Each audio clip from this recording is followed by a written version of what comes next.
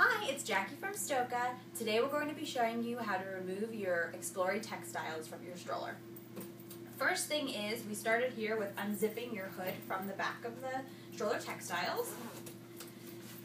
That is step one. And then you're going to want to remove the actual hood from the stroller. The easiest way to do this, I found, is that the side um, pieces here there are two pinchers, which you can feel with either your thumbs or some people can do it like that, but I do it with my thumbs. Um, so you can feel those there and you push them in and pop them out. And that will pop it out from the side of the stroller. I found it easier to stand on the opposite side so you can see it and feel it and then pop that one out. So that should pop out very simply. Step one. Step two is basically some more unzipping and removing this back portion. It's just Velcroed on, so you just need to tear the Velcro off. And then remove the, the snaps and follow it under the seat, which actually this is what I do.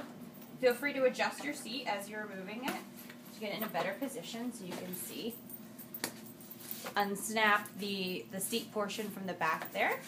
And then just follow it on the other side.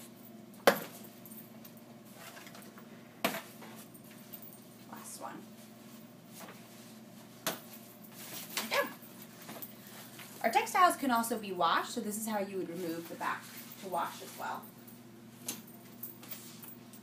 Now the next portion you'll want to do is just remove your belly bar. The other textiles you have here on the Xplory are your strap covers, which you just slip off. Also can be washed. Very easy. And then depending on when you are using the stroller for the age of your child, you may or may not have your infant insert in. If you do, you just remove the straps from it and slip it out. Yeah. And then, so now getting to the challenging part, which is removing um, your seat portion of the Xplory. I found it best to use a screwdriver. You can use really any device you have in your house. Um, the only reason you need this is it's better able to push in the little lever in this part here. So basically you just push it in and then this will easily pop out. You do the same thing for the other side. And just push it in gently. Don't need to use, you know, a ton of force and it will easily slide out. And then the seat portion. First thing you want to do is underneath, if you can see it, are these orange tabs. There's one on each side.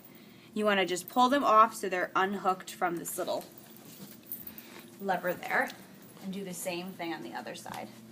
Just pull it down and that way that way it's releasing your um, seat cushion part so you can pull it out. Otherwise you'll pull it and it'll be stuck to that part of the chair. And now you really just untuck this back mesh portion. So I just pulled it up um, so now this is free to go. I want to remove the straps. So now that this is open, I can just pull these straps through very easily. Also, I can reach my hand down here. Now this is coming loose. And I can pull the bottom seat straps through as well. And then, I found the easiest way is to lock the stroller and then, you know, hold onto the seat and inch by inch on each side. You don't want to rip your textiles.